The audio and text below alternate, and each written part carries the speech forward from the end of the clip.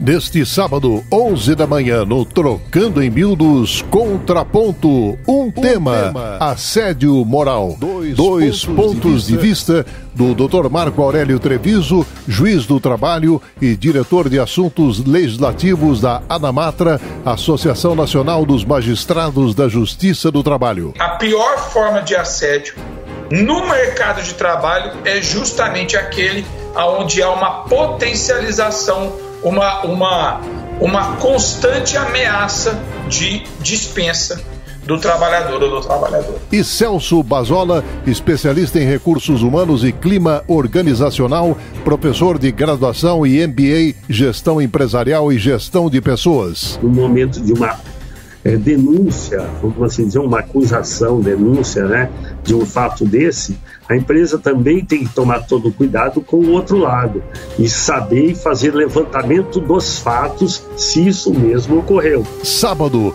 11 da manhã, contraponto dentro do Trocando, Trocando em Miúdos. Se nós tivéssemos no Brasil uma atuação sindical de fato forte, né, a tendência seria que essa situação ela fosse mais condigna, né, mais equilibrada. Entretanto, não é isso que a gente acaba verificando no dia a dia. E também é importante é, nós come, é, começarmos a colocar para o contraponto do outro lado que nem tudo é assédio.